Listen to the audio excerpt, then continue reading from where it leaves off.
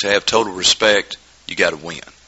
Uh, because people pat you on the back and say say you played well, but we don't want that. You know, we want them shaking our hands, you know, waiting for next year. All off-season players, fans, and experts have been talking about the buzz around Baylor football. But think about it, the buzz never caused anyone any pain.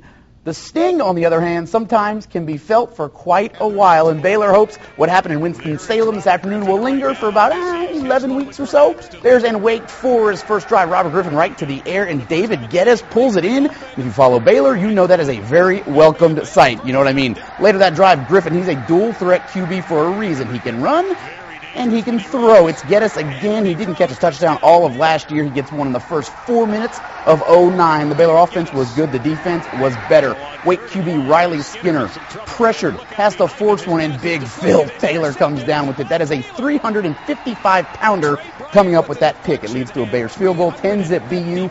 After the first quarter, Baylor led 10-7 at the half, early second half, Wake on offense, and that is Joe Pawelek doing what Joe Pawelek just loves to do. Ninth career interception and that Joe Paul pick leads straight to Baylor points. This is Griffin on that pitch back to Kendall Wright. Stutter step. What a sweet move. Right up the middle. He's going to score. Oh, that was just filthy. 17-7 after the Kendall Wright touchdown. Bears will go up 24-7. Wake wasn't done though. Less than four minutes left. Riley Skinner to Andrew Parker. That's a touchdown. Is a three-point game after the point after. The Bears would give the ball back to the Demon Deacons their house, giving them one last shot.